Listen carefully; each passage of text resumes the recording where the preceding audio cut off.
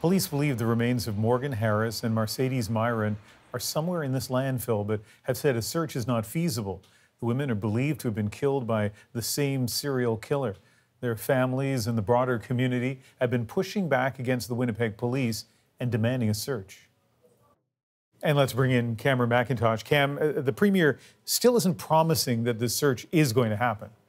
No, she's not, but it's hard to imagine some sort of search not happening now that the AMC has been put in charge of this. They've been pushing for a search, and as much as this is about two women, it's also political. For years, Indigenous leaders have been accusing governments and police services across Canada of treating vulnerable Indigenous women as disposable.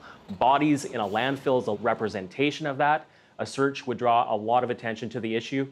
AMC Grand Chief Cathy Merrick spoke to that earlier.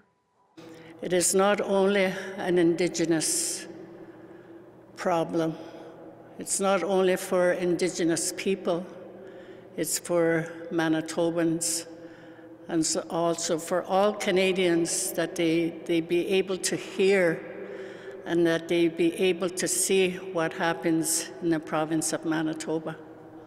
Next week, the AMC will sit down with the City of Winnipeg, the province of Manitoba, the Government of Canada, and the Winnipeg Police Service to figure out what's feasible. But, but big challenges ahead, Cam. Yeah, two things in successful landfill searches that experts tell us generally point to success, and that is time and a starting point.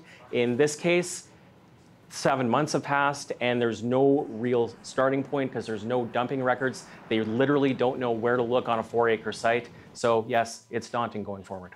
All right. Cameron, thank you.